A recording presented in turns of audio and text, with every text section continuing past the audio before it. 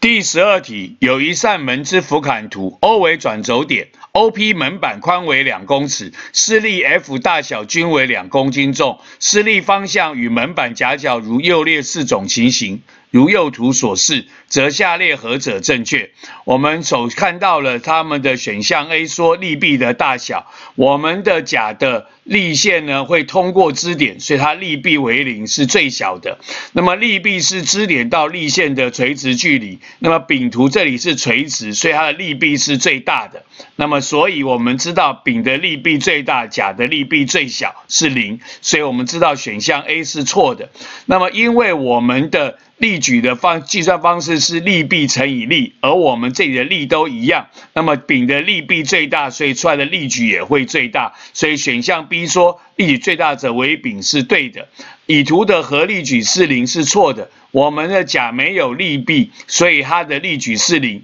那么这里虽然是一百二十度，它的力臂会比九十度来的小，但是还是有，所以他说合力矩为零是错的。这样子拉动它应该会所谓的顺时钟转动。那么丁，我们这边有个四十五度，如果我们要做垂直的话，有一个一比一比根号的关系，但是我们不需要带入这个关系，我们知道它绝对不会会是我的力臂乘以二。力矩力量是二，然后二乘二会等于四，绝对没有这么大，它一定会比四来的小，所以选项猪呢也是错的。因此第十二题问我们说，则下列何者正确？我们答案选的是 B，四个图中力矩最大者为丙。